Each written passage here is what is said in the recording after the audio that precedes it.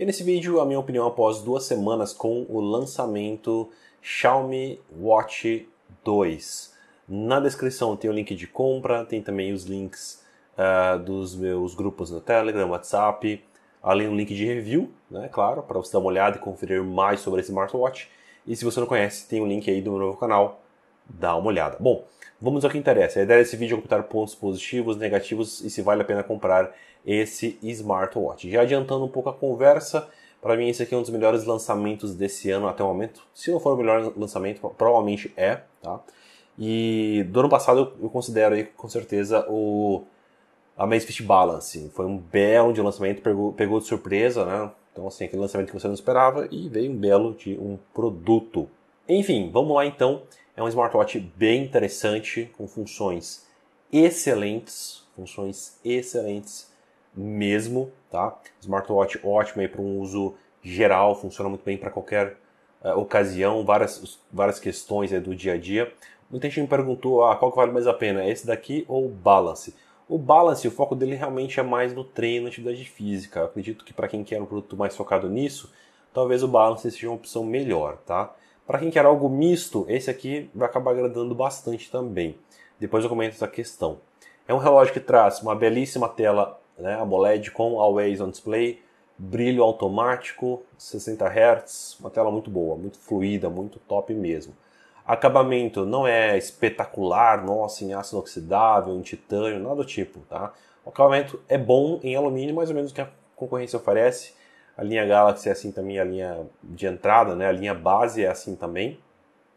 E aqui não é diferente, funciona bem. Botões em metal, né? Não tem a coroa, né? o Galaxy também não tem a coroa física, tem aquela coroa virtual. Aqui eles não é, mexeram com esse conceito, né? não, não existe isso aqui.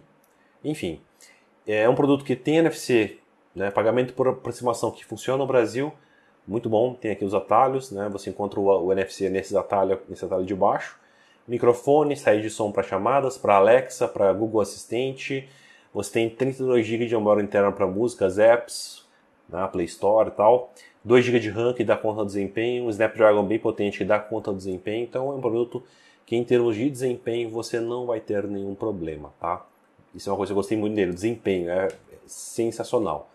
Pulseira de ótima qualidade, lembrando bastante a pulseira da linha Galaxy, fecho de metal. Na parte de baixo, infelizmente, ele não traz o carregamento por indução, tá? Eu acho que na próxima geração a Xiaomi poderia colocar. Mas, porém, entretanto, todavia, você tem aquele carregador legal, que é uma base que encaixa inteira aqui embaixo, e tem um carregamento rápido, ele carrega muito rápido mesmo. Então, assim, é, acaba compensando. Né? Mas o legal seria numa próxima geração aí só o carregamento por indução mesmo. E olha como fica mais bonito, né? Sem aquele sistema ali mais antigo. Enfim, ao centro, tudo, é, tudo automático, né? O batimento, oxigênio, estresse no REM. Porém, você não tem aqui recursos mais avançados, que já está começando a, a, ficar comum em smartwatches dessa categoria ou dessa faixa de preço. Né? Não tem o ECG, não tem uma arritmia cardíaca, é, ou algo do tipo. Eles poderiam ter colocado aqui a arritmia cardíaca, né? eles colocaram em produtos mais básicos da marca, como o Redmi Watch 4, o Mi Band 8 Pro. Aqui ficou faltando algo mais avançado, pelo, pelo menos um recurso a mais. Mas ok, tá? talvez para muita gente isso não faça muita diferença, tá? Enfim, no geral, muito bem construído, uma belíssima tela e um hardware né, muito potente, é um produto que roda tudo muito bem. Eu acho que esse é o ponto mais forte uh, para aquele usuário mais entusiasta que gosta de baixar funções avançadas, gosta de ter um smartphone, né, smartphone mesmo no pulso. Esse é um dos melhores no momento porque ele é muito potente, ele roda tudo muito liso. Às vezes alguns outros smartwatches com iOS eles não têm esse desempenho, né? Dá aquela engasgada, dá aquela travadinha às vezes. Nesse aqui eu não notei isso, o desempenho é impecável. Então eu acho que é o ponto mais forte dele, sem dúvida.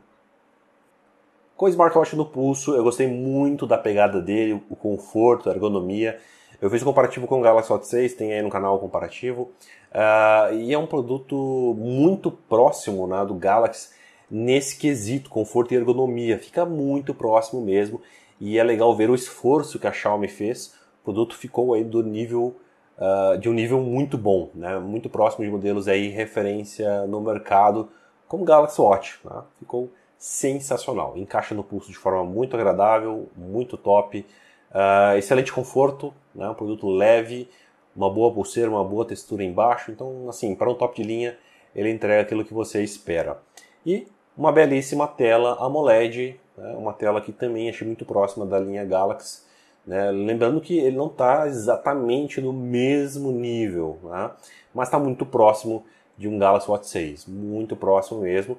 E isso é muito bom, né? Ver aí a Xiaomi, que é uma novata em tops de linha, né? Ela é realmente uma novata, né? O primeiro modelo dela foi em 2019, depois não teve mais, né? Quanto tempo depois para fazer um segundo modelo? Então é interessante ver que já no segundo modelo veio bem acertado. Rapidinho passando aqui o sistema, no review eu detalhei bem o sistema, tá? Então você tem aqui os atalhos, para baixo notificações, você consegue interagir, responder qualquer notificação, Uh, lembrando que é um smartwatch só funciona com Android, tá? O iOS atualmente só funciona com Android. Qualquer smartwatch lançamento iOS é só Android, não só a Xiaomi aqui.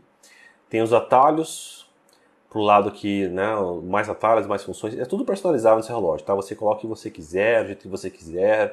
Você monta o jeito que você achar melhor. Tem os atalhos nos botões laterais e no botão de, de cima aqui você tem as funções no geral. Uma coisa legal, ele tem aqui os modos de corrida, tá? Uh, mais de 150 modos de, de, atividade física com 5 ATM GPS, excelente. Monitoramento automático de tudo, né? Play Store, e aí as funções você pode baixar, né? Muita função, muita coisa legal. Você literalmente tem um smartphone perdão, uh, de pulso. Então, show de bola, parte de configurações também bem avançada, bem completa. Questão de bateria é outro ponto fortíssimo, tá? É um produto que, como falei, o forte dele é no hardware, desempenho e outro ponto forte é a bateria, tá? E isso graças também ao seu hardware, né? Principalmente ao seu processador, que faz um gerenciamento de bateria de forma espetacular, tá? É um processador muito avançado de 4 nanômetros da, da Qualcomm, né? um Snapdragon, o W5 Plus, e ele faz aqui um trabalho impecável, desempenho muito bom, uh, multitarefas, né, em, em, com vários apps, roda tudo muito bem, que é um problema também em iOS. Normalmente você não tem um processador tão parrudo, tão sofisticado, e aí você abre muitos apps ao mesmo tempo já começa a travar, aqui você não tem esse problema. Então, é muito bom. E na questão de bateria, ele também é bom. 2 a 3 dias de bateria, muita gente está conseguindo, tá? Depende do uso, é claro. Pega os concorrentes, é um dia de bateria, no máximo ali um dia e meio. Né? Então é um produto muito bom de bateria, sim. E para fechar, vale a compra ou não vale a compra? É um smartwatch que está aí concorrendo com o Galaxy Watch 6, né? um Galaxy Watch 5 Pro também, né? poderíamos colocar na lista. Né? Apple Watch, teoricamente, é um concorrente, porém é um produto bem mais caro, mas vamos colocar também. Né? TicWatch Pro 5, então tem esses modelos no mercado. Sinceramente, eu acho ele um belo de um produto. É, para quem não quer ir desses smartwatches, pode ser uma alternativa bem interessante. Eu gostei mais dele, por exemplo, do que do TicWatch Pro 5, tá? Então é, é, seria a minha escolha, colocando lado a lado, Pro 5 e Xiaomi, Xiaomi, sem pensar duas vezes. Agora com o Galaxy já é uma conversa um pouco mais complicada, porque o Galaxy Watch 6 ficou sensacional, uma tela absurda, um acabamento muito bom, uh, o desempenho está bem bacana também, é um pouco inferior a esse, mas ainda assim um desempenho bacana. E a vantagem de ter um ano de garantia, suporte Samsung, o preço é muito próximo é, é desse cara aqui, dependendo do modelo até mais barato. Então o Galaxy Watch 6 entrega um custo-benefício melhor, tá? Mas se você é aquele usuário que não quer ir no que todo mundo vai, né, quer algo diferente, algo diferenciado, o Galaxy, o Galaxy não, o Xiaomi Watch 2 vai te entregar isso de forma muito bacana, beleza? Então sim, vale a pena, só tem que analisar essa questão que comentei agora. Na descrição tem o link de compra, review. Fico por aqui, até o próximo vídeo.